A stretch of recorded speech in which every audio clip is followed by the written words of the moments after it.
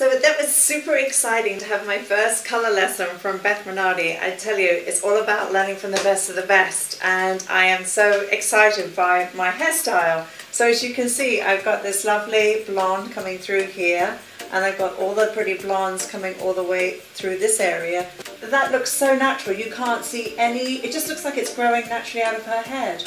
And I like how with this movement, how you move it in different directions, you see all of this, you can see it all coming through on the underneath, can't you? I like that this side is shadowed and sunken and that this side is more coming out because my little girl has chubby cheeks so I think that little lift there, the drop down is really, is really beautiful. I can't believe, I can't believe I did this. I really, I really can't. I'm, I'm, ama I'm amazed. I'm absolutely amazed. I just didn't know I was capable.